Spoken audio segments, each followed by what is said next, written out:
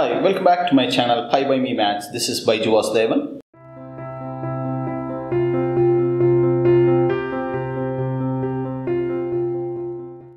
The region as shown shaded in figure 3 is bounded by C, L and the x-axis. Part B, find using calculus the exact area of S. This question got 6 marks.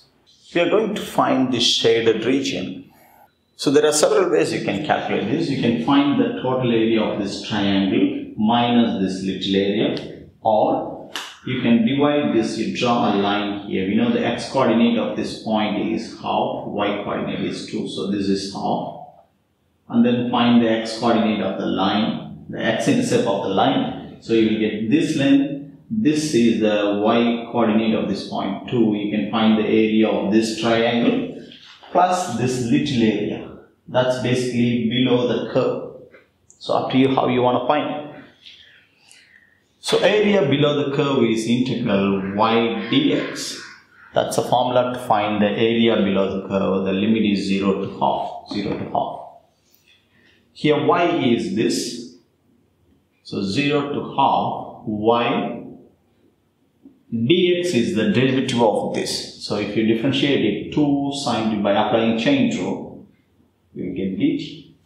So it's 2 times 2 is 4 integral 0 to half. Replace tan by sine over cos. And then you have sine t cos t dt. Cancel this, you get sine square t.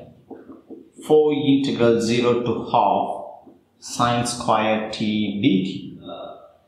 This sine square t is a one of the special integral. I have explained this in a separate video. I have consolidated like about 10 special integrals.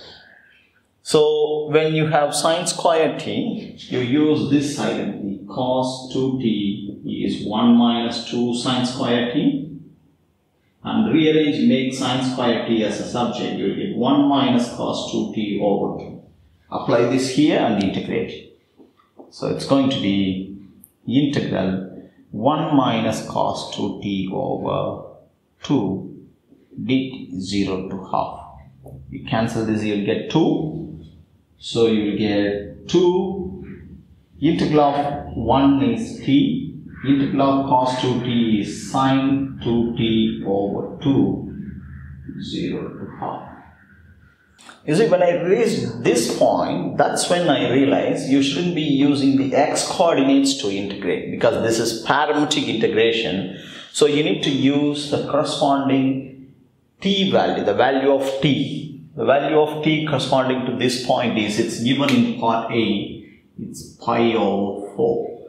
So instead of using 0 to pi over 2, 1 over 2, you should use 0 to pi over 4. So I'm not going to correct my mistake. I'm going to leave this in the video so you understand how to integrate this and what limit should be applied. So it has to be pi over 4.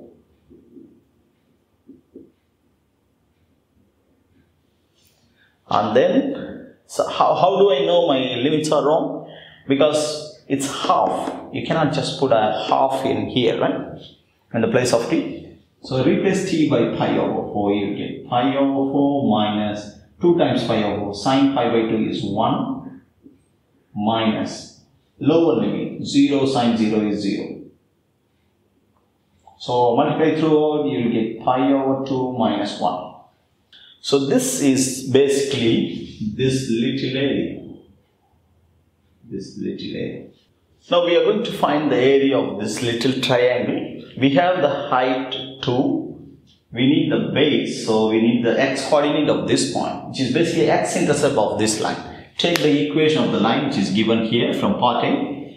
To find the x intercept, replace y or y by 0 here. So 2x is 17, x is 17 over 2. So this point is 17 over 2. So the base is the difference between 17 over 2 and half. 17 over 2 minus half, which is 16 over 2, 8. So the area of the triangle is half base times height, which is 8.